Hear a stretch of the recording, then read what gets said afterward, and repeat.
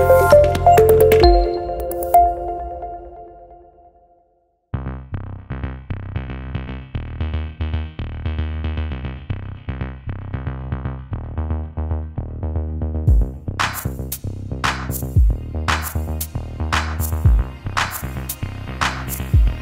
Nasib laga antara Madura United kontra Persipura Jayapura yang berlangsung di Stadion Kapten Iwayan Dipta Gianyar Bali pada hari Senin 21 Februari 2022 telah menemui titik terang. Melalui surat Komite Disiplin atau Komdis PSSI nomor 071 garing L1 garing SK garing KD strip PSSI garing 3 garing 2022 Persipura Jayapura dijatuhi tiga hukuman. Pertama, kalah WO 3-0 atas Madura United, pengurangan 3 poin dan denda sebesar 250 juta rupiah. Keputusan dari hasil sidang Komdis pada hari Selasa 8 Maret 2022 itu, Komisi Disiplin memberikan keringanan hukuman kepada Persipura Jayapura. Ialah biasanya saat pelanggaran kode disiplin itu dilakukan tim Liga 1 harusnya dihukum pengurangan 9 poin berdasarkan kode disiplin PSSI pasal 58 ayat 1. Keputusan keringanan itu dilandaskan terhadap empat pertimbangan, ialah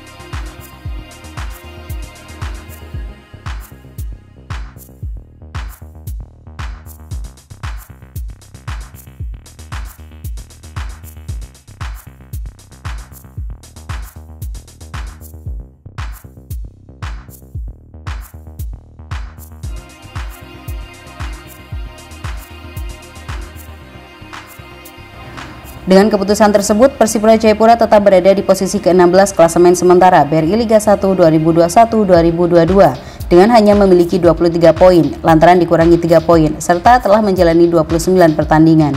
Sedangkan Madura United yang dinyatakan menang WO naik ke posisi 11, menggeser PSM Makassar dengan raihan 34 poin dari 28 pertandingan yang dijalaninya. Ferdian Syalifur Rahman, Syahid Mujtahidi, Kaimafi Sport melaporkan.